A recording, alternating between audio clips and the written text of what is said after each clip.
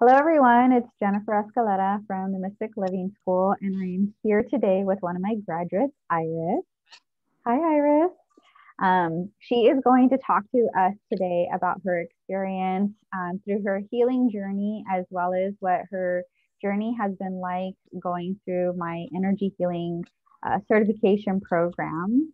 And this is in the intention to share these stories is to inspire, motivate, be um, a mirror back to those who also see themselves in Iris and Iris see them in others. And so I, my goal is to create community and for us all to continue to be inspired by the sacred work that we do. So thank you, Iris, for being here today and sharing your wisdom. Oh, thank you for having me. yeah, yeah, yeah. Yeah, man. So if you could tell us a little bit about yourself and what your healing journey, you know, has been like, like what led you to say yes to the certification program? Um, okay, cool. Well, I've been, you know, kind of involved in a self-healing journey like a lot of us for the past three to four years very seriously.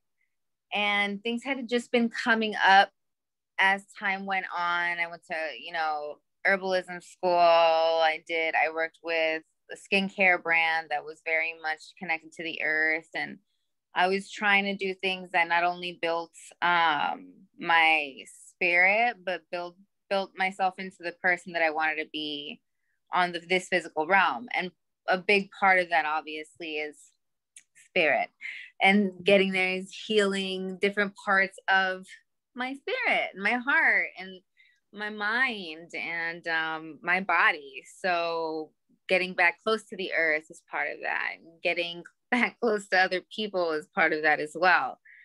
So um i think i was drawn to mystic living school i know it was instagram I don't remember exactly how I got there, but that's the beauty of it as well, because it's just mm-hmm. that's how it happens a lot of times. You just follow a bunch of little dots and you end up someplace that you were meant to be at. And I was thinking about it a lot and I just couldn't get it off my mind. So I was like, okay, well, the mm-hmm. next time that she opens this up, I have to make myself available somehow. And um, I forgot what the question was, Jen. just you know what your healing journey's been like and then what led you to say yes to Does that sound like program. an answer? What did i trail off or was that no no no no. you, you were okay. on you were on target. Mm-hmm. excellent. So you can edit all this out if you would okay. it's all good it's all good. And well so yeah. what led you to say yes? Like um, as you um, were in that healing journey and then you see this you know person you don't know and they have this certification program like what called to you what spoke to you that you said yes to yourself really? I feel like i had things that i wanted to unlock in myself that i had been trying to do on my own for a very long time with my own understanding. And i knew i wanted mentorship and i wanted community really bad. And this this came up at the time of the height where i was like wow that's exactly what I need for my healing. Mm-hmm. And it felt it felt very much at home. So I was like, oh, when I saw Jen speak in her videos and I read the course and, and what she was trying to bring to you were trying to bring to the table, you know, like the this really we're building each other up and we're all doing this together and we're all capable. This is just me trying to help you unlock that stuff which was exactly what my soul was calling for. So I think it was looking for something to help me see something for myself about myself um, in an area where I would be held accountable and I would be with other people who would still be gentle with me, but still hold me accountable because we're all there, you know, mm-hmm. kind of thing. Mm-hmm. Beautiful, beautiful. Okay, so that's first question. okay, so the second question is going to be What was your life like before you enrolled in the program? Um, and then I did ask the question, What led you to join? Okay, so what was your life like before you enrolled in the program? So before I went to Mystic Living School, I was very, I was really anxious. I didn't really like meeting new people. I didn't, I didn't really like being in social settings. I had a hard time making friends and trusting. So even doing it on my own was hard. And deciding that this was something that I was going to do on my own was scary. And I'm 30, or I was 29 when I did it, right? Mm-hmm. I think. Yeah. yeah. Mm-hmm. Mm-hmm. Um, it was just something I felt I had to do to grow up a little bit, mm. which is tight because it's scary, but that's how you know, like, I have to do that then, you know, because that's how I'm going to grow. Yeah. Because it's like you're going through the tough part of the soil and you know it's only tough because the sun's out there. You feel me? So it's like, all right. Mm. So here I go to the light, whatever, fine. I'm very stubborn. It's like she, like the whole circle knows. They seen it, you know, and, and I've, it's tight. It was tight. My life was very much, um, I didn't think I could do a lot of stuff. I I, I always counted myself out. Hmm. Oh my God, pause. Thank you. We will pause. We will pause. We will pause. Out of it is like, it's tight hmm. because I don't really take a lot of time to think about it. Like it'll come up and I'll pull and I'll work through things. So it's like a little toolbox that I use, but I don't really reminisce so much on like like how it made me feel. Like really like to grow from it because I've seen now the results. Cause there's been so much time that I can I remember I like even that question right now. I remember like um before I started going to that class and how closed off I was. And I was closed off in class, but like I was in the beginning, you know, like I'm, I'm, I seem outgoing and all that, but it's because I was trying really hard to give it a shot, you know, and not just count myself out automatically. And just, it was so cool. I'm so, I'm so excited that I got to do it. I'm so grateful. Okay, we can let me just clean my face, Jen, and then we can get back into it. it's all good. I love this. Thank you so much for being so authentic. I mean, I appreciate mm-hmm. You just being okay. you. I mean, that's what makes you you. I, I wouldn't want you to be any different. But that also helps me to trust you, right? Yeah. We can build a bond, a, a, a trust relationship. So yeah, definitely. That. Yeah. Love okay. it. So we'll go to question three then. Okay. So you started mentioning, okay, how has your life changed since the program? What shift did you have after the program? So I've definitely built a lot of confidence um, because we do exercises in class on each other with each other. Um, and we do we we're learning in so many different ways we're writing we're listening we're watching things we're seeing demonstrations we're working with our own hands um seeing other people triumph as well in class and that that whole kind of feeling and actual energy flowing throughout. It's almost like ding ding ding ding ding ding everybody once you're in you get more in tune which jen you, you may put us in a certain space for us to be able to get in tune the way that we need to be in tune.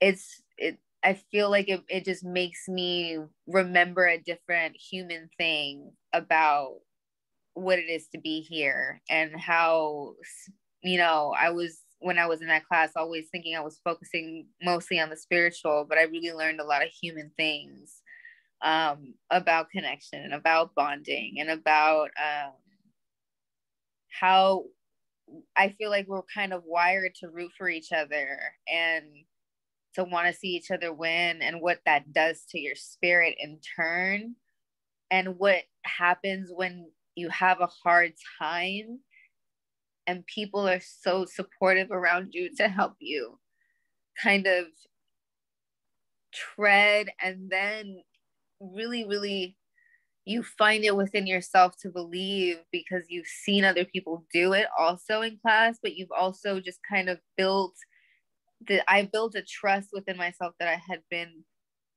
really looking for and working on and I couldn't do on my own, which is super tight. Mm. Super cool. Um I'm also pregnant so I'm very weepy, but it's it's super happy tears remembering awesome moments. Mm, thank you. Thank you. Yes, of course. Please be yourself. So you are welcome here. Always. It's always felt that way. It's always that's what it feels like in that room. It's the best. Um, the best feeling, especially with all the girls and me having like trust issues with building friendships and especially with other women. Mm-hmm. So mm-hmm. awesome. And you're just kiss facilitator for all Aww, of it. Thank you. Thank you. Thank you. Then. Okay, next question. Um, um, this isn't on there, but I think I need to add this. Um, okay, so since you, I mean, I don't know if you took this certification because you wanted to become a professional energy healer or did you take it just for your own, you know, um, personal growth or a little bit of both? Maybe if you could speak about that. Yeah. So when I went into it, it definitely was for growth, but I also wanted the certification because I wanted to be able to go to the next step if I so chose because I was interested in the next level and the next level and getting into the Reiki and working with my hands and making things and putting learning how to properly charge things, you know, and get my my my body ready for things like that, not deplete my spirit and all those things. That's also the part of part of growth. But the yeah, it's a little bit of both, you know. Mm-hmm. Um I got the most life stuff out of it, I think and that's super super valuable to me which is in turn going to help if i ever want to continue or if i ever do want it i mean i have done energy work on people that has been fantastic for both of us it's just i don't know if i want to do that all the time but i love that i i am capable of it whenever i choose to be and i have proof that i've done the work Ooh, yeah, exactly. I got chills on that. okay. Um, so what would you want people to know about the program? Mm. What do I want people to know about the program? I think that if it calls to you, it calls to you for a reason. I don't, it wasn't a coincidence for me. And uh, the universe really made it possible because I had, I we did like a little payment plan thing, and Jen, you know, gave me grace, and the universe gave me grace by helping me finish paying it um, with like a little scholarship from somebody that I paid back in payments, and I was able to do it. It was just it worked out perfectly for me because I had this faith that I it was dire for it was a something I had to learn. It was a lesson I had to learn was something about my faith. Mm. Um and to let go my pride and my ego and all this stuff and be like, mm-hmm. right, if it's gonna work out for me, it will. And it did. I just think if you feel called to it, you should take a chance on yourself because it is if it doesn't, you know, if it does anything for you, it's gonna help you grow and it's gonna help you find something about yourself that you're gonna be like, wow, that's mm. so cool. Like, is mm. there's gonna be something that you're gonna get out of it, and I got a lot of life stuff out of it, and I'm already, I'm already like, I'm talking like I'm 45. Whatever. Hey, I'm 45. it set me up. Listen. I'm sorry. It set me up. I'm kidding. I'm kidding. I'm kidding. Jennifer, I am. like 30 something people are getting. I thought you were like 35 anyway, it set me I'll take it. I'll take I'll tell you that for sure. Um, the mind like uh I have to call on a lot of stuff from class for to get through certain things in this this pregnancy and i'm only in my second trimester but faith is a big part of it. And knowing that i did things knowing that i was able to push past certain barriers that i could not push past before this class and remembering those moments really really gives me strength and builds my confidence and reminds me that i also have a whole circle of women who are rooting for me no matter how whether i talk to them or not if i were to I've, i have called on them mm-hmm. i have called on them when the ba- the father of my child who was just my boyfriend at the time had a very serious moment and was in a coma i mm-hmm. called on them and they all came mm-hmm. support me and have a moment to help me and energetically and just in spirit holding holding space for me and if i were to call them all again it would be the same thing. And knowing that is incredible. That's so, just even having that mm-hmm. it's something it's something to be a part of for sure. Absolutely. Thank you. Thank you. Um let's see. What was your deciding factor to invest in this program? Your demeanor, honestly, the way that that we to our communication, I was like, man, there's mm. somebody I'm gonna learn from. I want to learn from her because I felt safe. And I mm. felt like I could learn from you. And I felt like you had wisdom that I was going to absorb because I'm very stubborn. And it's very hard for me to be like, yes, it's just, I don't usually feel comfortable in, in certain spaces in public spaces, especially spaces where I already feel inferior. Mm. So having a mentor, a teacher that I could relate to because of your energy, but also I had so much respect and admiration for you already. I was like, I was ready to be in the same room as you and to absorb whatever it was that you were going to impart because I also, the communication that we had made it feel like it would be a very safe place to break down my walls and just do it because I was scared. Mm-hmm. So it was you, Jen. Mm, thank you. Thank you for that. Yeah. Okay, last question. Knowing that we didn't know each other and there was no guarantee. Oh, I guess that's part of the question. What was your deciding factor? Knowing that we didn't even but know also, each other. Yeah, maybe if you want to speak to that, you could add that part. I guess another deciding factor was just like the um I don't know because how everything worked out for me was just perfect because there was difficulty there, you know. It wasn't like the universe is like you can have this. Like, like I dangled it in front of me. It's like, are you gonna are you gonna come and get it? Because I usually would be like, cool. If I don't get it like that, I'm just not gonna do it because it's gonna hurt too much or something. Mm-hmm. But it made me, if I really want, I, I did really want it. It made me prove how bad do you want it, and somebody saw how bad I wanted and they're like, I'm gonna sponsor you then. And then I got it in right in time. Mm-hmm. And that was the universe. It was just like meant to be. But how, what was the question about how I didn't know you? Yeah. So even though you didn't know me, and you know, I'm a stranger, but I mean, I guess you did answer that question. Um, it was the energy, I think and and your professionalism how the way that you presented the class really was hmm. because you were like i want to you know i want to strengthen the community and i feel like there's way a lot of room for that and i want it to be academic and spiritual i want you to get as much out of this as you can and this is exactly what we're covering and i liked the um that process i liked the way that you wanted to structure the class it was very attractive to me it felt like that's I could learn that way. So mm-hmm. I think that was also a deciding factor. Awesome, awesome.